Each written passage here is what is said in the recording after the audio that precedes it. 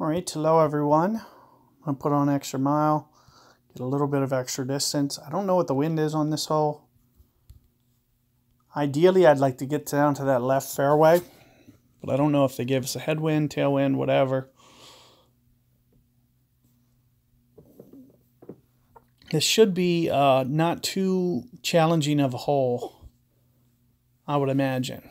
I would imagine they'd set this up relatively fair for expert to be able to let a lot of guys with drivers. Yeah, so you can see that the wind is favorable, which I'm assuming that they set this up intentionally.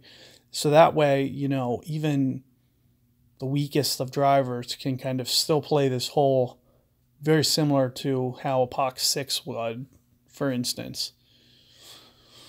it kind of, you know, favors, you know, it'll still slightly favor them with Apoc 6 or whatever, but this is going to be quite manageable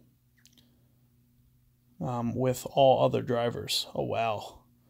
That was at least a two ring great ball. Let's see if it ends up hurting. Looks like he hopped the bunker. Look at that. So had he not gone, you know, extra, all that extra power, um, that wouldn't have, you know, quite worked out that way. so I should be well on my way to having almost as much carry as this person does. I should be able to do very similarly. I'm thinking right around five rings. You can see that I did a lot of side spin. Try to get that momentum over towards the left. Um, just trying to, more than anything, focus on either perfect or close to perfect. And uh, just really try to get it down here as far as possible. You can see I did not carry it over the uh, bunker there. Oh, wow, wow. Holy moly, I cannot believe it rolled out into the rough. So I wouldn't have even thought that that was possible, especially with extra mile. Um, I'm assuming that I'm still going to be okay. It's just going to kind of change the way that I play it.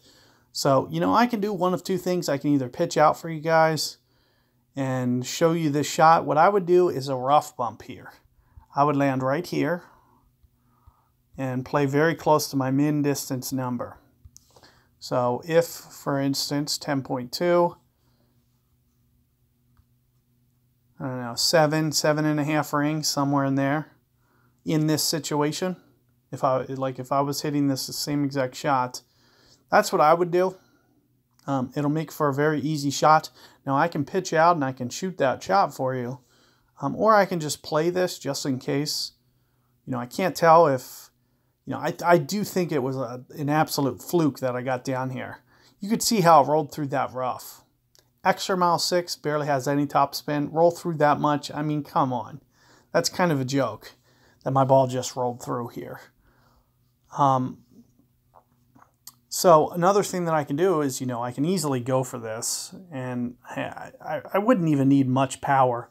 You know, I, I don't see any real way that I'm going to hold this but I think it would be very easy for me to eagle it if I was to just do, say, this. So you can see my setup. Um, as I mentioned, you know, if I do this shot just like that with that much power and everything, I think it'll get to the back of the green and kind of roll back down the hill um, and be a pretty good shot. But what I'm going to do for you guys, I'm just going to pitch it out and we'll just try to do that uh, sniper shot because I I really don't see the likelihood of ever being there again. I really don't think you guys are in jeopardy of rolling down that hill the way that I did. Uh, that was kind of BS. Um, the only thing you might want to worry about is if you, for instance, were to, um, you know, have a little bit longer driver than me and you carried it to that second fairway instead of the rough. So that could potentially put you down in the rough, but that's the only really, really way that I see that happening. Now, what I'm going to do here, so I'm assuming that's definitely uphill, I'm going to use my slider, and I'm just going to use minus 20%. So 7.5 with this wind. I'm going to use the slider five rings. 5.2, 5.3. I'm going to go like 5.3 rings or so. You can see with what I'm doing with the ball guide here, just kind of putting it into the hole, as I mentioned, right in here. Ah! So with the rush, I kind of messed this up, and there you can see it shoots off to the right, to the left, because I great balled it to the left. Disappointing.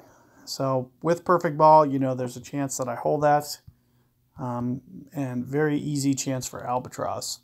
So, you know, good luck there, guys, with that hole. Um, I think it should be straightforward, pretty easy. Uh, and I'll see you guys with hole seven coming up.